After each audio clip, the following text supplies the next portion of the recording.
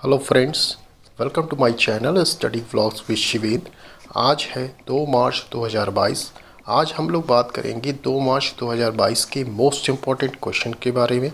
पूरी वीडियो ध्यान से देखिएगा और वीडियो यदि आपको पसंद आती हो तो प्लीज़ वीडियो को लाइक शेयर एंड सब्सक्राइब करें और साथ ही साथ बेल आइकन को भी प्रेस करें, जिससे कि आने वाली वीडियो के नोटिफिकेशन आपको मिलते रहें।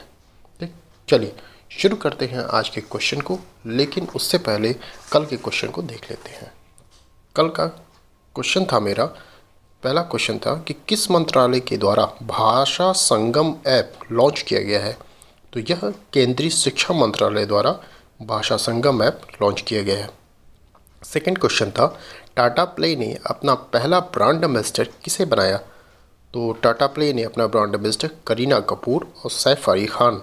दोनों लोग को बनाया है। अर्थात तो उपयुक्त दोनों ऑप्शन सही हैं। चलिए, आज के क्वेश्चन को देखते हैं। आज का पहला पॉइंट है हमारा कि राष्ट्रीय विज्ञान दिवस कब मनाया जाता है? तो यह 28 फरवरी को मनाया जाता है, राष्ट्रीय विज्ञान दिवस। क्यों मनाया जाता है? ये काफ़ी लोगों का कन्फ्यूज़न होता है। और कुछ लोग कहते हैं कि रमन के जन्म के अवसर पर राष्ट्रीय विज्ञान दिवस मनाया जाता है। ऐसा नहीं।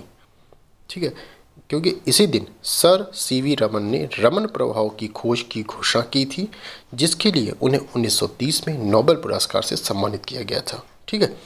रमन प्रभाव की खोज के कारण ही राष्ट्रीय विज्ञान दिवस मनाया जाता है। ठीक है? नोबेल पुरस्कार की उन्हें कब मिला था? तो 1930 में उन्हें नोबेल पुरस्कार मिला था। अन्य दिवस अब देख लेते हैं। चूँकि दिवस आया है तो यह आपका फरवरी माह का अंतिम दिवस रहेगा। फिर मार्च का हम लोग शुरू से पढ़ेंगे। जब जब दिवस आएगा तो। ये फरवरी माह का आपका लास्ट है, क्योंकि 28 की फरवरी है 28 फरवरी में ये लास्ट आपका आया है। तो पिछला जो रिवीजन हम कर लेते हैं, जितने फरवरी में हम लोगों ने दिवस पढ़े हैं। विश्व आर्द्र भूमि दिवस, चार दो फरवरी सॉरी दो फरवरी। विश्व कैंसर दिवस, चार फरवरी। थीम क्या रखी गई? क्लोज द केयर कैप विश्व दलहन दिवस, दस फरवरी। राष्ट्रीय उत्पादकता दिवस 12 फरवरी, विश्व रेडियो दिवस 13 फरवरी, थीम क्या रखी गई?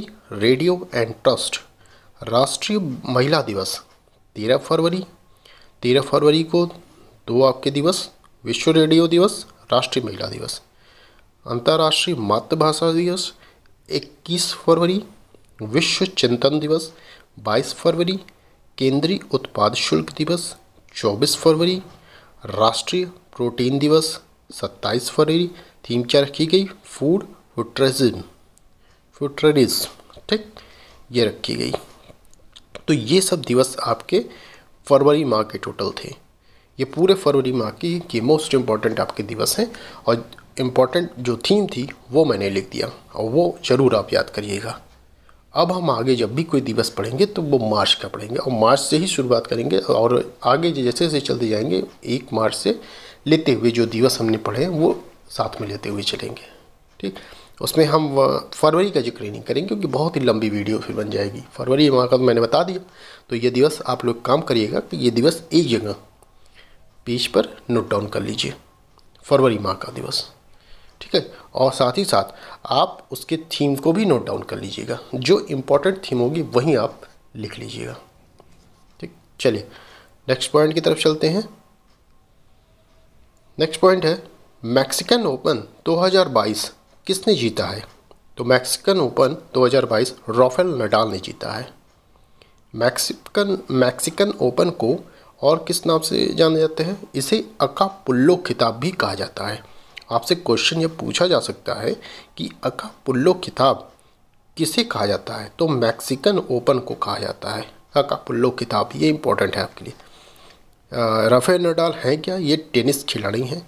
कहाँ के हैं? स्पेन के हैं। ये ज़रूर याद रखिएगा। राफेल नडाल अगर नाम आता है तो कभी कभी यह भी आपसे पूछा जाता है कि वह किस देश के खिलाड़ी हैं? तो यह स्पेन के हैं, ठीक है? राफेल नडाल ने हाल ही में देखिए ऑस्ट्रेलिया ओपन 2022 जीतकर सबसे ज़्यादा ग्रैंड स्लैम जीतने वाले खिलाड़ी बन गए हैं। तो ऑस्ट्रेलिया ओपन ने ओपन इन्होंने जीता है। मैक्सिकन ओपन इन्होंने जीता है। ठीक आ, आप याद रखिएगा कि ऑस्ट्रेलियन ओपन जो मोस्ट इंपॉर्टेंट है जो ग्रैंड स्लैम होते हैं चार ग्रैंड स्लैम हमारे यहाँ वहाँ पहला ग्रैंड स्लैम जो होता है वो ऑस्ट्रेलियन ओपन होता है। यहाँ आपका पुरुष में इन्होंने जीता है राफेल नडाल ने। अब महिला में किसने जीता है?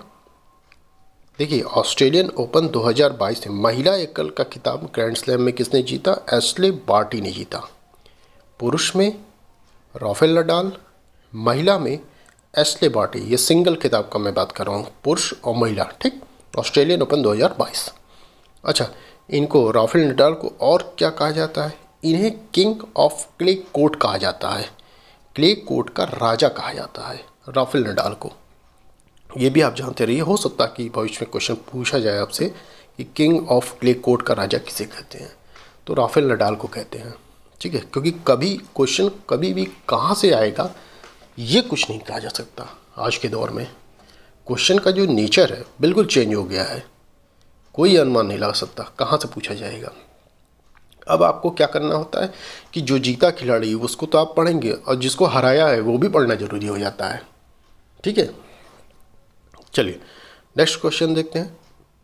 सेबी की पहली महिला अध्यक्ष कौन बनी है? तो वो बनी है माधवी पूरी बुच सेबी की पहली महिला अध्यक्ष बनी है। किसका स्थान इन्होंने लिया? अजय त्यागी का स्थान इन्होंने लिया है। अच्छा सेबी आया है तो सेबी का फुल फॉर्म हम लोग देख लेते हैं। Securities and exchange board of India ये फुल फॉर्म होता है। स्थापना कब हुई इस सेबी की? तो 1988 को स्थापना हुई है। मुख्यालय कहाँ है इसका? तो मुंबई में इसका मुख्यालय है। अन्य महिलाओं महिलाओं से संबंधित देख लेते हैं, चूँकि ये महिला से संबंधित आया है। अध्यक्ष बनी है तो अन्य महिलाएँ हम देख लेते हैं कहाँ कहाँ क्या बनी है, अध्यक्ष कहाँ बनी है, कौन क्या बना है। तो अंतर्राष्ट्रीय ओलंपिक समिति आईओसी एथलीट आयोग की अध्यक्ष कौन बनी? एम्मा टेरहो बनी है। यूरोपीय संघ की संसद की अध्यक्ष कौन बनी है? रोबर्टा मेटसोला बनी है। भारत की लेखा महानियंत्रक कौन बनी? सोनाली सिंह बनी है। भारतीय महिला हॉकी टीम की कप्तान कौन बनी? सविता पुनिया बनी है। प्रधानमंत्री सुरक्षा चूक मामले की जाँच समिति का अध्यक्ष किसे बनाया गया? इंदु मल्होत्रा मोस्ट इंपॉर्टेंट आपका पॉइंट है ये।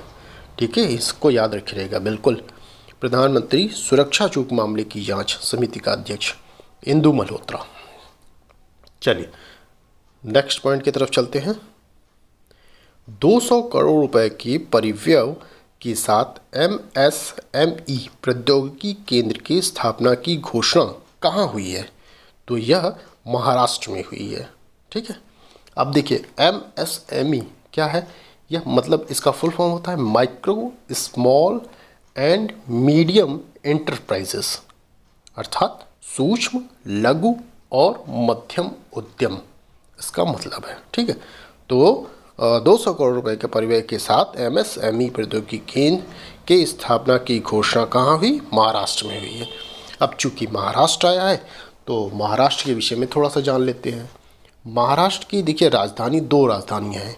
एक मुंबई है, जो समर कैपिटल है। दूसरी नागपुर है, जो विंटर कैपिटल है। मुख्यमंत्री कौन है महाराष्ट्र के? उद्धव ठाकरे हैं। झीलें इंपॉर्टेंट कौन है? लोनार, उपवन शिव सागर यहाँ की झीलें हैं। दर्रे कौन सी? भोर घाट है थाल घाट है। लोक नृत्य कौन से इंपॉर्टेंट हैं यहाँ? लावड़ी, पुवाड़ा, कोली, यहाँ का लोक नृत्य है। चर्चित स्थल कौन से हैं? औरंगाबाद, पुणे, मुंबई, महाबलेश्वर, नासिक। औरंगाबाद में ही मैंने आपको बताया था कि दो गुफाएँ हैं, एलोरा व अजंता की गुफाएँ हैं। आपसे पूछा जाए कि एलोरा व अजंता की गुफाएँ कहाँ हैं तो यह औरंगाबाद में है। औरंगाबाद कहाँ पड़ता है? तो यह महाराष्ट्र में पड़ता है। इतनी चीज़ें आप जाने रहिए। आप कोशिश करिए कि अगर स्टेट की बात आई है तो स्टेट के बारे में थोड़ा बहुत हिस्ट्री आप जाने रहिए कि राजधानी क्या है, झील क्या है, दर्रे क्या है, लोक नृत्य क्या है, चर्चित स्थल, मुख्यमंत्री। यदि आपका राज्यपाल इंपॉर्टेंट है, राज्यपाल देख लीजिए, ठीक है? ये सब चीज़ें थोड़ा थोड़ा चीज़ें जानते रहिए। नेशनल पार्क है वहाँ पे इम्पोर्टेंट तो वो देख लीजिए। इससे क्या आपका जो जीएस है, वो ब्रॉड होगा, बढ़ेगा, ठीक है? बार बार आप देखते रहेंगे तो आप थोड़ा सा जो जी एस है, बार, याद नहीं करना पड़ेगा। बार बार आपके निगाह निगाह पर चढ़ेगा तो फिर वो आपके दिमाग में चीज़ें घुसती हैं। ओके चलिए नेक्स्ट क्वेश्चन की तरफ़ चलते हैं। नेक्स्ट पॉइंट है, सिंगापुर वेट लिफ्टिंग इंटरनेशनल 2022 ये आयोजन किया गया, सिंगापुर वेट लिफ्टिंग इंटरनेशनल 2022 का आयोजन किया गया। भारत ने कुल कितने पदक जीते? तो आठ पदक भारत ने जीते हैं। किसमें किसमें छः गोल्ड जीता है एक सिल्वर जीता है और एक ब्रॉन्ज। ओके? छः गोल्ड में एक गोल्ड मीराबाई चानू ने जीता है। ये इंपॉर्टेंट है आपका मोस्ट इंपॉर्टेंट पहली चीज़ इसमें आप देखेंगे कुल कितने पदक, आठ पदक भारत ने जीते कौन कौन से छः गोल्ड, ये आप ज़रूर याद रखिएगा। छः गोल्ड जीता है, एक सिल्वर, एक ब्रॉन्ज, ये इंपॉर्टेंट तीसरी चीज़ कि छः गोल्ड में जो एक गोल्ड है, ये किसका है? मीराबाई चानू ने जीता है, ये मोस्ट इंपॉर्टेंट आपका रहेगा। ओके? चलिए नेक्स्ट पॉइंट की तरफ़ चलते हैं। भारत में ट्विटर की सार्वजनिक नीति टीम का नेतृत्व कौन करेगा? तो इसका नेतृत्व समीरन गुप्ता द्वारा किया जाएगा। ठीक है, समीरन गुप्ता। अच्छा ट्विटर के सीईओ कौन है? यह पराग अग्रवाल है ट्विटर के सीईओ नेक्स्ट पॉइंट देखते हैं। केंद्रीय मंत्री मनसुख मंडाविया ने बायोमेडिकल इनोवेशन पर आईसीएमआर, डीएचआर नीति लॉन्च किया। किसने लॉन्च किया है? मनसुख मंडाविया। ठीक है? स्वास्थ्य मंत्री, केंद्रीय स्वास्थ्य मंत्री हैं ये मनसुख मंडाविया। इनके द्वारा बायोमेडिकल इनोवेशन पर आईसीएमआर, डीएचआर नीति लॉन्च की गई है। ठीक? Next question. सादिया तारिक ने मास्को बोर्शो स्टार्स चैंपियनशिप 2022 में पदक जीता। कौन सा पदक? गोल्ड जीता है इन्होंने। ठीक है, पहली चीज़ नाम याद रखिएगा। साद, सादिया तारिक। किसने जीता? सादिया तारिक ने जीता है। क्या जीता? गोल्ड जीता है इन्होंने। ठीक है, कौन सा चैंपियनशिप था? Moscow wushu stars championship 2022 okay, चलिए, नेक्स्ट क्वेश्चन देखते हैं। चरणबद्ध तरीके से टी प्लस वन स्टॉक निपटान तंत्र को लागू करने वाला दूसरा देश कौन बना है? तो दूसरा देश भारत बना है। अब पहला देश कौन बना फिर? पहला देश चाइना बना है। ठीक, चलिए लास्ट क्वेश्चन देखते हैं। भारत के पहले ई वेस्ट इको पार्क को मंजूरी दी। तो किसने ई वेस्ट इको पार्क को मंजूरी दी? तो डलही ने। भारत ने ई वेस्ट इको पार्क को मंजूरी दी है। ठीक है? भारत का पहला राज्य बन गया है ये, जिसने ई वेस्ट इको पार्क को मंजूरी दी। तो बस, ये थे आप, आज आपके top ten questions I hope आपको वीडियो पसंद आई होगी। आपको वीडियो अगर पसंद आई हो तो प्लीज़ वीडियो को लाइक शेयर एंड सब्सक्राइब करें और साथ ही साथ बेल आइकन को ऑन करें, जिससे कि आने वाले नोटिफिकेशन आपको मिलते रहें। अच्छा एक चीज़ और कि मैंने आपको देखिए आज राजव्यवस्था का वीडियो दिया है पार्ट फाइव है उसमें और उसमें मैंने स्वतंत्रता का अधिकार और शोषण के विरुद्ध अधिकार इन दोनों को कवर किया है। अगर आपने वीडियो नहीं देखी हो तो प्लीज़ जाइए वीडियो आ, मेरे प्लेलिस्ट में एक लाइन से वीडियो होंगी वहाँ पर। वहाँ पर पाँचवा जो है लेटेस्ट में वह राज्य व्यवस्था होगा उसको प्लीज़ चाहिए देखिए। यदि आपको वो वीडियो पसंद आएगी तो प्लीज़ उसको लाइक करिएगा, सब्सक्राइब करिएगा और अपने दोस्तों में शेयर करिएगा। ओके? चलिए, आज का क्वेश्चन देख लेते हैं। आज का क्वेश्चन है कि पाकिस्तान की पहली महिला मुख्य न्यायाधीश कौन बनी है? आपके ऑप्शन है, Ketanji Brown, Maya Angelou, B V Nagarathna, Ayesha Malik. Second question है किस वर्ष इसरो ने चंद्रयान सेकेंड लॉन्च किया था? आपके ऑप्शन है? 2018, 2019, 2020 एंड 2021 तो ये थे आपके क्वेश्चन। आप कमेंट के माध्यम से मुझे आंसर बताइएगा। ठीक है? और देखिए जनवरी माह का जो है मैंने आपको ऑलरेडी वीडियो दे रखी है। तीन पार्ट में जनवरी का मैंने वीडियो दिया था। और चौथा जो पार्ट था, उसमें हमने मोस्ट इंपॉर्टेंट क्वेश्चन को रखा हुआ है। अगर आपने वो वीडियो ना देखी हो तो प्लीज़ चाहिए और उस वीडियो को ज़रूर देखिएगा। कोई भी एग्ज़ाम होगा, उस वीडियो को बिना देखे ना जाइए, क्योंकि बहुत ही इंपॉर्टेंट इंपॉर्टेंट वहाँ क्वेश्चन दिए गए हैं। जनवरी माह के पूरे क्वेश्चन को कवर करने की पूरी कोशिश की गई है वहाँ पर।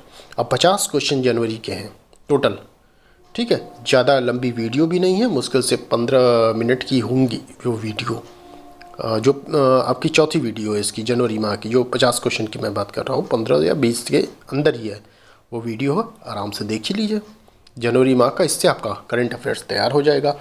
फरवरी माह का मैं शुरू ही कर रहा हूँ इसमें तो रोज़ आप इसको नोट डाउन करते रहिएगा और अपना नोट्स बनाते रहिए।